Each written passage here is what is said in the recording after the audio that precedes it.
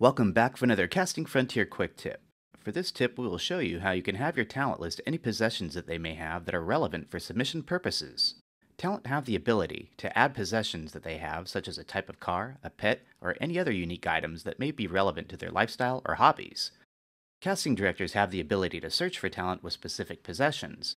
This is why it is important that talent include these details within their profile.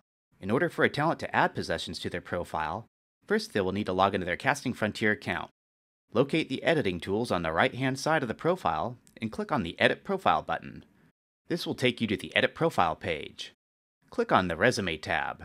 Once you land on the Resume page, scroll down to the Possessions section and enter any relevant possessions. Once the data has been entered, click the Save button. And there's your quick tip.